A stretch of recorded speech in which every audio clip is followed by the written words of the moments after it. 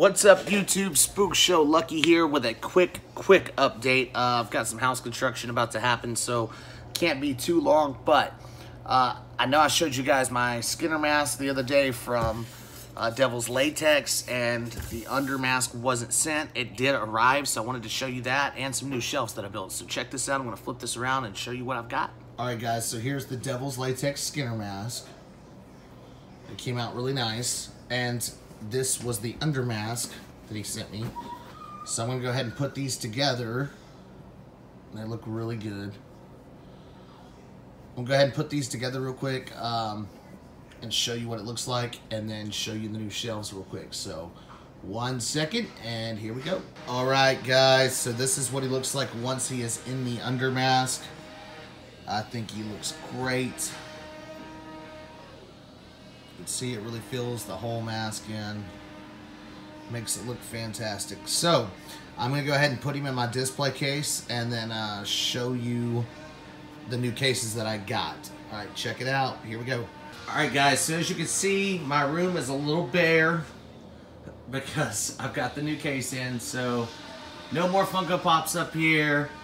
Not a lot of stuff here. Look, so my really, really close friend. Uh, me and him were roommates for a long time. He's an airplane pilot. He actually moved, or well, he was doing training. He didn't move, sorry. He was doing some training in Dallas, which is about four hours away from me. And I happened to call him, and he happened to be in an IKEA. So I got the infamous IKEA shelves. I asked him to pick some up for me. He was awesome, and he did, so check it out. Boom. Now, uh, what I need to do is do some lighting on these, but this just looks so good all displayed together like this. Uh, the biggest thing is, is this room is dark. That's why I have to use the flash so much. So I'm actually about to turn the flash back on real quick and give you a little bit closer of a look at it. One second, here we go. Alright, so I hate that I have to use flash so much, uh, but it's just these lights in this room are, are very, very dark. But anyway, you can see this is the first case here. Second case. Then I wanted to put all of my sideshows. So I've got my sideshow collectibles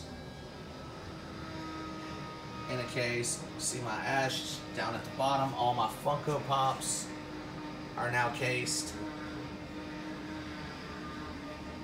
You can see that badass unmasked Jason back there hiding out. Put a few things on top to represent kind of what's in the case. Another case of sideshows. Autographed Freddy glove. Leatherface. And we got Michael down at the bottom. And then you have a few more masks. Here's the Skinner mask now in the case. And my Chucky. So I think that these came out really good. They just really set the room off. Like they they look really really good in here. The only thing is I should have got him to get one more. I didn't know how many I needed, so I was just like, yeah, pick up four of them for me. Uh, I'd already had a couple, but this one is a little bit different. You can kind of tell this case is just slightly taller. It's got just a hair of a different tint to it. I don't know, so I kind of want to uh, get all these matching in uniform, but they look pretty damn good. Next step is the lighting. So if you guys have any lighting suggestions, please make sure you drop it below. Let me know what you like, what works the best. I know the LED strips is seems to be the general consensus here. So just let me know if you guys ran across anything cool that uh, maybe I don't know about. I did these uh, these kind of tap light deals. You see they were in this case. I did those before, and those things are awesome. And they would have worked perfect, except the batteries on them. I mean, it's like three batteries that it takes, and they, they just wear out so quick. So, couldn't really use the batteries, but um, I do need to light these up and really, really proudly display all this stuff.